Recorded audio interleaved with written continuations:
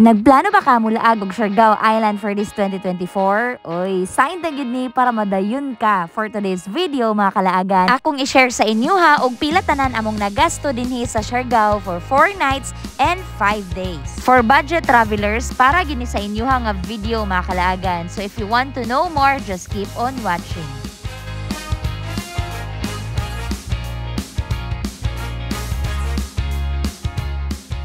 Diri mi mo sakay og fast crab sa Surigao City Port padulong sa Dapa Port Siargao. So among plating nga gibayran mga kalagan for tourist class is 470 plus 30 pesos na terminal fee. Travel time is 1.5 hours. Kung mag-fast craft ka, kung mag-roro is 3 hours. Pagabot na mo diri sa Dapa Port, nagrent mi og motorcycle for 350 per day and diri mi magstay sa Yulis Inn, diri lang yun ni siya sa General Luna mga kalagan and 1,100 per day ang amo ang room diri.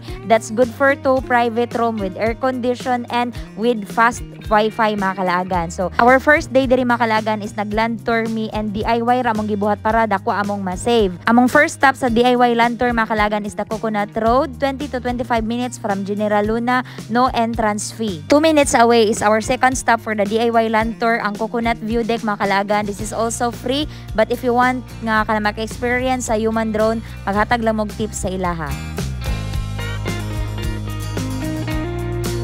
After na mo sa Coconut View Deck, it's a 5 minutes travel na pod going to Maasin River, Makalagan for the third stop sa atong gibuhat nga DIY land tour. Entrance is 30 pesos per head, Makalagan, but if you want to go sa ilang secret lagoon, musakay mo aning bangka, mo bayad mo og 600 pesos, that's good for two. After ninyo maligo sa secret lagoon, pwede mo mahapit sa mga picture spots dinhi sa Maasin River or pwede po mo ambak sa ilang iconic diving board. For the fourth stop sa among DIY land tour nga gibuhat ni J. Lord Makalagan is ang magpupungko Rock Pools. This is 25 to 30 minutes from Maasin River. Ang entrance dire is 50 pesos per head plus 10 pesos for the parking fee sa motor. And this is our total expenses for our DIY land tour good for 2 packs. Sa among day to din sa Siargao Makalagan is nag-island hopping me, nag-joiner lang mi ani nga group, i-chat lang na siya Makalagan kung gusto pod mo. So per head Makalagan is 1,299.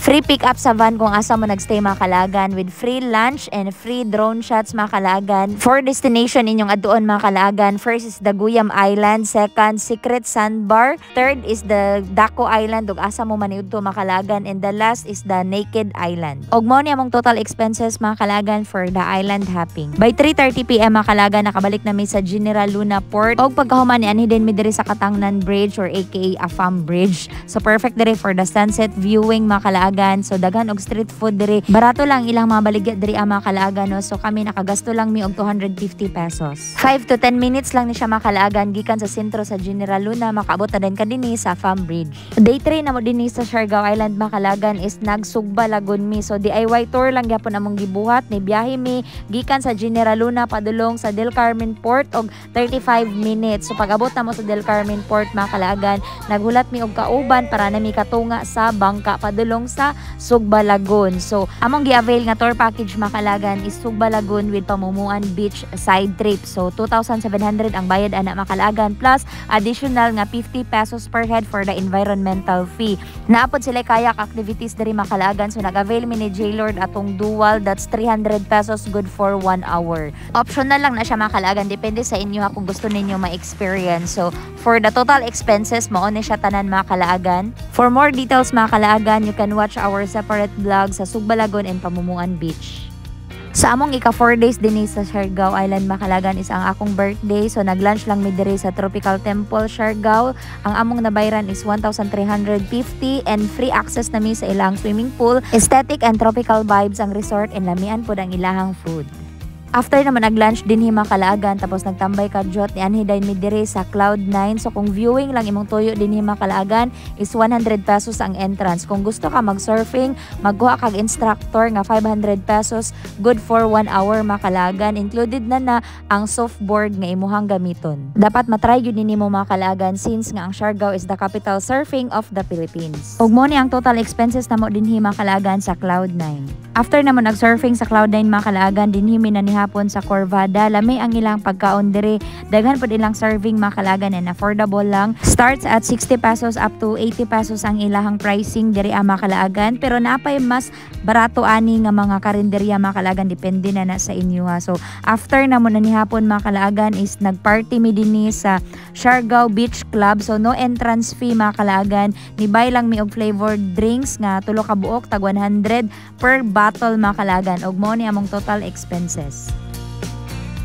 Sa among ikalima diri nga adlaw sa Siargao Makalagan which is our last day before minibiyahe sa 10 AM, nag-breakfast kami dinhi Makalagan sa Happy Islanders Cafe. Swerte kay kay nakapapicture mi ni Ma'am Andy and Sir Filmar og mo ni among nabayran dinhi sa among gikaon. Sa among pag-uli Makalagan nag fast craft gihapon mi so economy class among gikuha nga ticket so 420 plus terminal and environmental fee nga 20 pesos tanan. So 420 plus 20 so 460 each ang amo ang nabayran makalaagan. Mao ni mong grand total makalaagan sa among 4 nights and 5 days sa Siargao. It's 20,678 and other expenses nga wala na na video na ako makalaagan. So tipid traveler gid mi makalagan man ang dili kaayo dako ang among nagasto. If nakatabang ni sa nga video makalagan, you can follow our Facebook page for more laag videos. See you sa next day. Laag na!